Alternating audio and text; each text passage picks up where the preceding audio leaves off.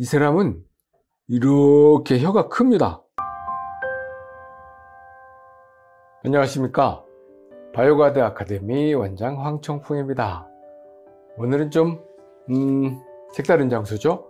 이 자리가 제가 디자인을 개발하기도 하고, 실제로, 어, 제품을 만들어 보기도 하고, 그리고 고객과의 상담을 통해서 디자인을 어, 바꾸기도 하고, 아주 다양한 일을 하는 곳입니다. 여기는 보다시피 다 이런 100% 핸드메이드 일일이 다 손으로 만드는 일을 통해서 제품이 완성됩니다. 그리고 요런 요렇게 다 일일이 깎아서 만듭니다. 이 사람과 이 사람의 구강 사이즈 보시면 엄청 차이 나죠. 어, 요거는 50대 중반의 여성, 이거는 50대 중반의 남성. 남자와 여자 차이가 이렇게 차이가 날까요? 자, 한번 실질적으로 한번 재볼까요? 여기서 이렇게. 와, 이거는 뭐 어른과 아이처럼 크게 차이 나죠. 자, 어, 이분 같은 경우는 지금 어, 제2 소구치, 제1 소구치, 제2 소구치, 그 다음에 송곳니. 치아가 하나 없죠. 그러다 보니까 이분은 이렇게 좁아진 거예요. 원래 이렇게 좀 넓었어야 되는 사람이 치아를 뽑음으로 해서 쫙 좁혀 들어갔죠. 그러면 이 안에 있는 혀가 어떨까요?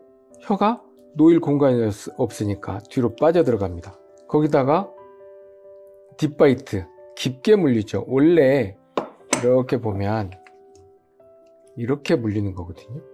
위의 치아가 아래 치아를 살짝 덮는 수준으로 이렇게. 그런데 이거를 한번 볼게요. 어때요? 지금 이거는 뒤로 많이 밀려 있죠? 이렇게 좁기 때문에 혀가 뒤로 많이 빠져 있습니다 혀가.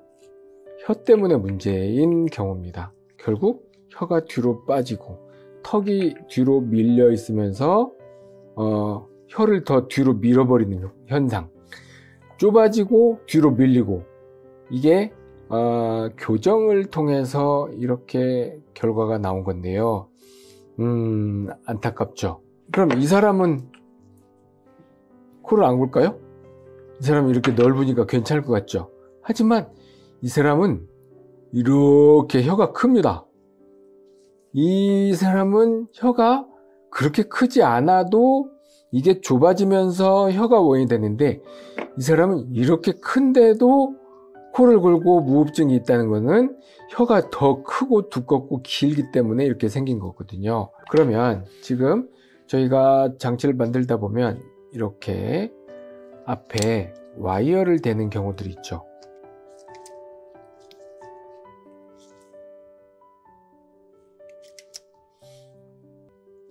자, 여기는 닫고 이쪽은 뜨죠? 그러면 손으로 해서 이렇게 해서 이렇게 띄워주고. 지금 이게 상악 이게 하악입니다. 지금 보면 어 요것도 상악인데 이거와 이거는 이렇게 차이가 나죠.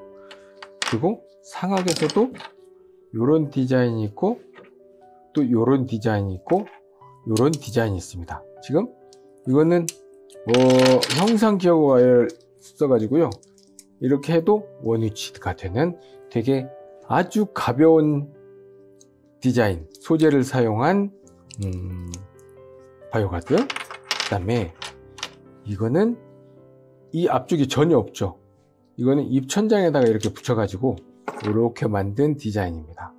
그리고 이거는 앞쪽과 아래쪽, 안쪽을 같이 넣어서 만들었고요.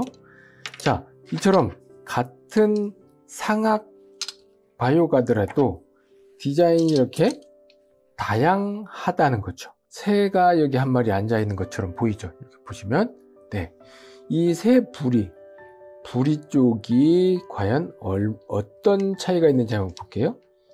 이 부분하고 이 부분하고 이렇게 보시면 다르죠. 이렇게 걸려서 떨어지는 것을 잡아줍니다. 보이나요? 이렇게 걸려 있습니다. 그래서 이게 입이 벌어지는 거를 잡아주죠. 잡아주는 정도가 살짝 다르죠. 지금 이거 같은 경우는 입이 벌어지는 걸 별로 좋아하지 않고 또 입을 자주 벌리기 때문에 아예 잡아주기 위해서 이제 한 거고요. 요거는 그냥 뭔가 살짝 걸려 있으면 좀 안정감이 있는 것 같다고 했고요. 이 경우는 이거는 그냥 스르륵 미끄러집니다. 네, 제가 이렇게 다양한 제품 디자인을 보여드리는 거는 같은 바이오가드라고 하는 제품도 사용할 사람의 가장 최적화된 제품을 만들어야 된다는 말씀을 드리면서 인사드리겠습니다. 고맙습니다.